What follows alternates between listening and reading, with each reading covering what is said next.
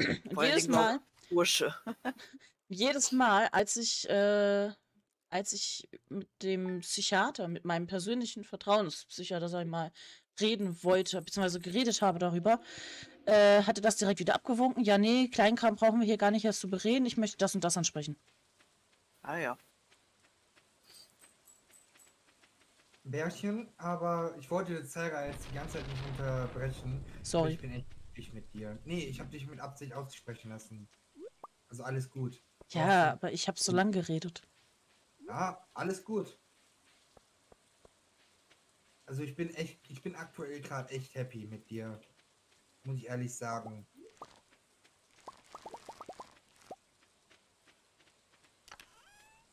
Ähm, ja, einfach danke, dass du jetzt da bist. Ich kann es halt einfach gerade nicht anders ausdrücken, ne? Die Kühe sind melkbereit. Oh, welch eine Ehre, das wird mir angezeigt. Ja, das klingt wirklich nach einer Persönlichkeitsstörung. Hast du schon mal einen Online-Selbsttest gemacht? Ist zwar keine richtige Diagnose, aber es kann schon mal helfen. Ähm, einen Selbsttest an sich habe ich tatsächlich bisher noch nicht gemacht. Was ich bisher gemacht habe, war mir äh, so ein paar Sachen durchzulesen. Also ich kann ja mittlerweile durch Arbeitsamt und Jobcenter habe ich es ja gelernt, eigentlich recht gut selbst reflektieren. Mittlerweile. Äh, wenn es auch oft zu spät ist mit dem Selbstreflektieren, dass ich dann erst zu spät merke, dass irgendwie, dass ich da gerade irgendwie was falsch gemacht habe, etc. Ähm, habe ich dann tatsächlich auch festgestellt, dass mindestens eine von diesen ganzen Persönlichkeitsstörungen, die bei Borderline angegeben sind, da, da fassen tatsächlich alle Punkte zu 100% auf mich zu und alle anderen Punkte mindestens zu 50 bis 60, 70%, habe ich festgestellt. Also, da muss was in der Richtung sein. Aber ich war halt in der falschen Klinik dafür. Jetzt bin ich am überlegen, wir haben in Alfred auch noch eine Klinik, die soll viel besser sein. Ob ich das da nochmal versuche. Das Problem ist, ich habe gestern Post erhalten von meiner Krankenkasse. Die wollen jetzt, jetzt drei Monate später 280 Euro für die Behandlung haben. Oha. Ich soll, den innerhalb, ich soll die innerhalb von 21 Tagen äh, überweisen. Das Problem ist, dass mit heute erstmal mein Arbeitsgeld wieder äh, gestrichen ist, bis ich das beim Arbeitsamt geregelt habe, dass ich da die Sachen abgebe. Und bis das Arbeitsgeld dann wieder fließt, das Arbeitslosengeld, äh, haben wir wahrscheinlich wieder nächsten Monat. Dann ist das mit der Krankenkasse auch schon wieder rum. Wie soll ich denn das machen? Dann muss ich auf meine Sparkonten schon wieder zurückgreifen. Ich werde ich werd nie Geld ansparen können. Zum Glück habe ich noch 80 Euro äh, als Gutscheingeld auf äh, Amazon. Ich wollte mir noch eine VR-Brille holen und wollte mir noch eine extra Festplatte holen, damit ich die ganzen Aufnahmen, die ich hier ja nebenbei mache, ich nehme ja meine Streams neuerdings auch mit auf für YouTube, äh, dass ich die dann tatsächlich auf eine extra, äh, extra Festplatte komplett draufladen kann. Ich habe gestern tatsächlich meine eine Festplatte vollgehauen mit den ganzen Streams, also mit den ganzen Aufnahmen. Ja, das ist echt Scheibe, dass die in der Klinik darauf nicht eingehen wollen, wollten. Richtig.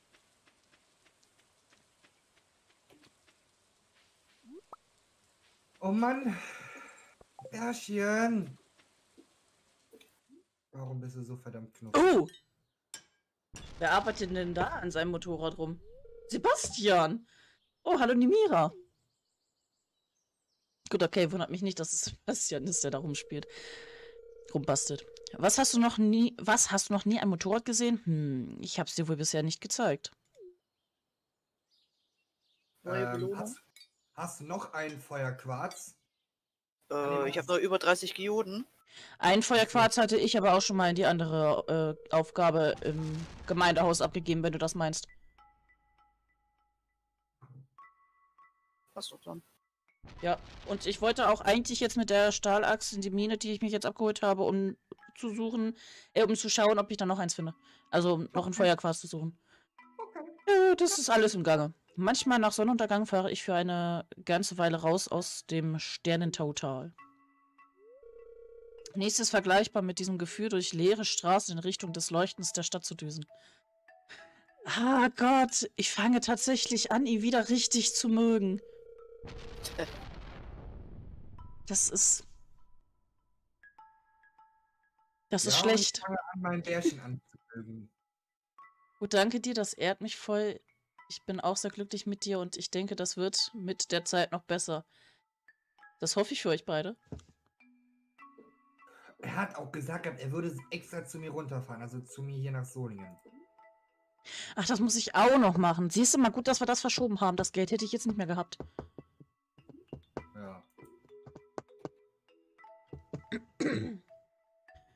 Beziehungsweise doch, ich habe noch 50 Euro, glaube ich, auf dem Konto. Aber gut, das hätte trotzdem nicht gereicht. Da brauche ich mindestens um die 60, 65. Ich glaube, um die 60 ungefähr. Schreib mir am besten nochmal das. Äh, ah, nee, warte, das Bild müsste, ja, müsste ich ja noch haben. In, WhatsApp oder Discord war das. Muss ich doch mal schauen, wel- welches äh. Datum ich da rausgesucht hatte. Dass ich dafür schon, schon mal die Karte hole. Sonst ist das Geld auch schon wieder weg. Sobald ich genug gespart habe, ziehe ich los. In die Stadt und noch weiter. Nur mein Motorrad und ich. Oh, er denkt nicht mal an uns. Das wär's, das Öl ist gewechselt. er hat nicht mal eine Sekunde an uns gedacht. Hey, vielleicht nehme ich dich auch mal auf eine Fahrt mit. Oh Mann, eben noch gesagt, ne? Das klingt gut, nein, danke, das klingt albern. Ich habe Angst vor Motorrädern.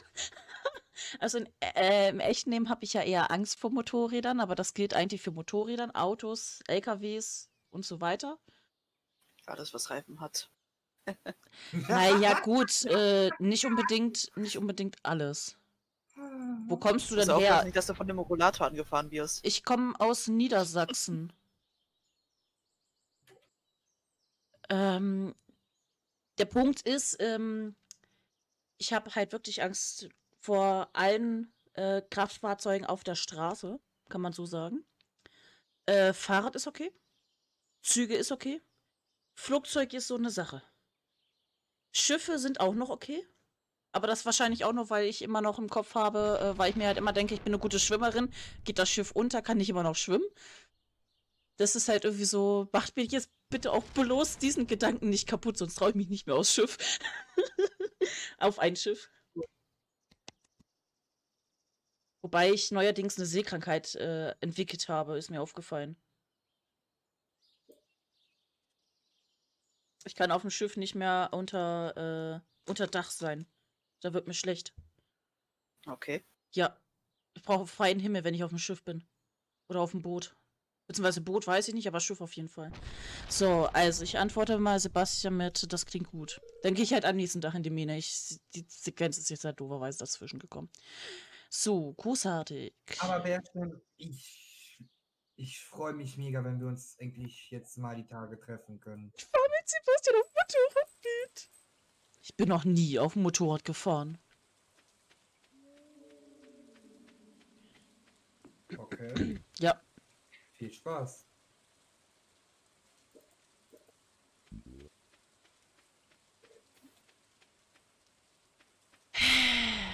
Wow, man hat ja voll was gesehen.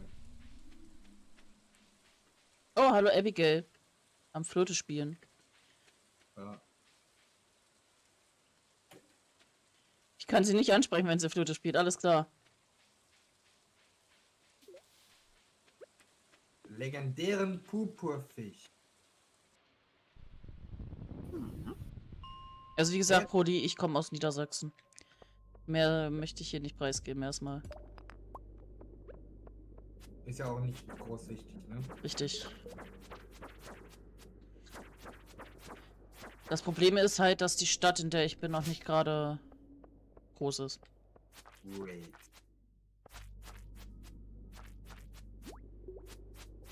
Ich dachte, man könnte den, die Strandschnecke, ich glaube auch von drei Strandschnecken, um irgendwas daraus zu machen. Braucht man Riffbarsch?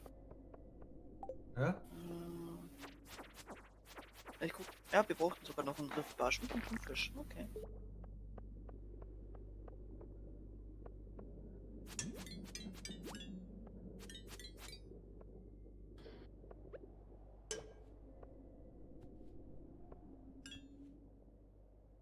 Okay, das ist ein Stein, aber das Schwert macht trotzdem mehr Schaden. Auch nicht schlecht.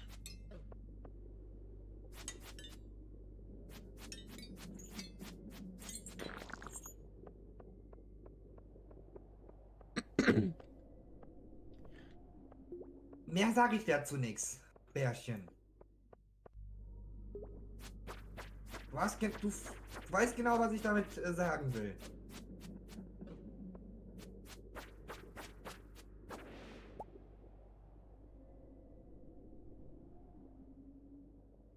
Gut.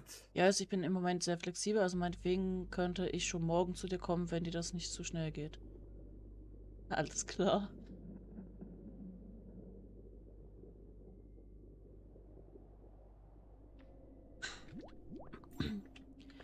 Wie gesagt, wenn es beim Geld nicht passen würde, könnte ich auch sofort morgen bei dir sein. Theoretisch. Ja, wie gesagt, theoretisch.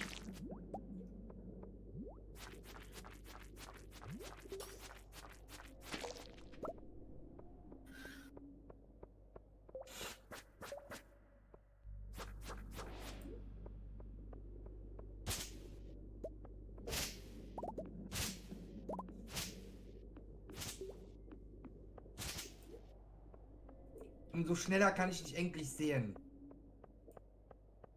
Ich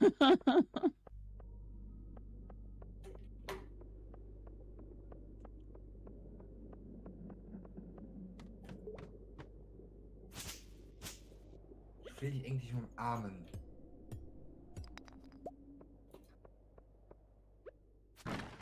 Kommt sicher noch. Oh, wow, wow, wow, wow, wow. Das ist jetzt schlecht. Dafür bin ich jetzt nicht vorbereitet. Mine verlassen. Dafür war ich halt echt nicht vorbereitet. Ich habe gar nichts zum Essen mitgenommen. Egal. Ist eh schon zu spät, also. Du hast nicht auf die rote Gefahr gefasst.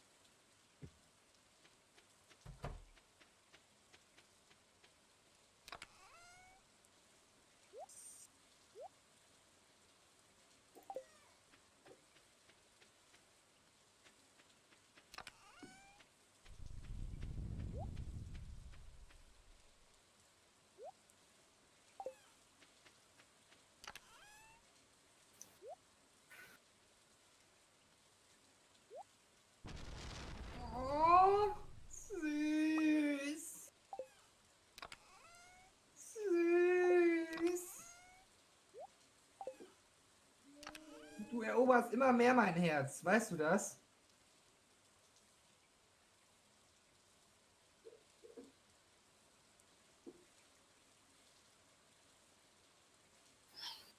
Das klingt wie ein schlechter Witz, weil wir uns nicht kennen, aber wenn du von mir aus der Nähe kommst, äh, kommen würdest, hätte ich dich abgeholt mit nach Solingen genommen. Alles klar. Oh mein Gott. Ah, wieso gucke ich denn da nach den Blumen? Ich komme nicht rein. Ach, ich gehe jetzt erstmal schlafen. Ich kann am nächsten Tag immer noch die Zwergenschriftrolle weglegen. Ich war heute noch nicht bei Elliot.